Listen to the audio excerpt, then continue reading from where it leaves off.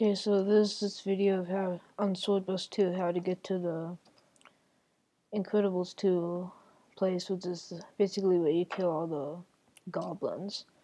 So you want to go to Vast Woodlands, and right when you spawn, you should see this lady here. So you want to click, you want to um, click Let Me Help. then it's going to teleport you over here.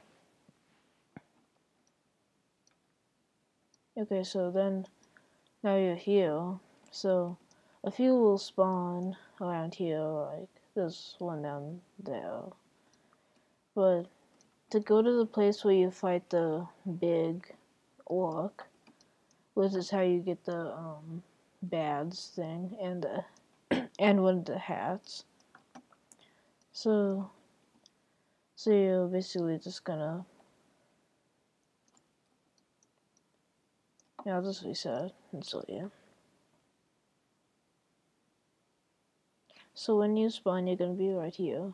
So you just wanna go down, down the stairs. Then you're just gonna go to the left.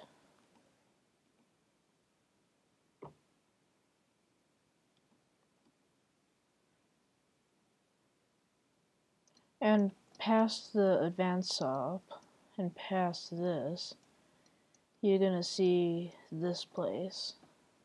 See, advanced shop is over there, and here this is. So you're just gonna go through here, go down here, and then you just go down across this woods, up up these rocks. They're gonna be used to be a um, across there. So you're just gonna go this way.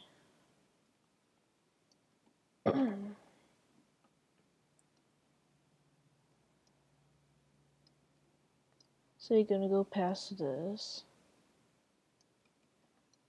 Then you should be like right here.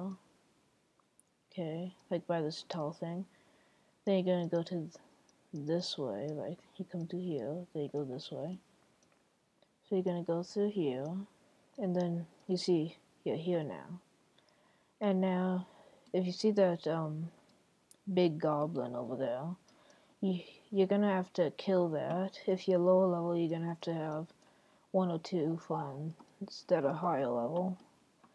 Um, then once you kill it, you'll get the um, you'll get the hat for the one of the one of the hats for the event.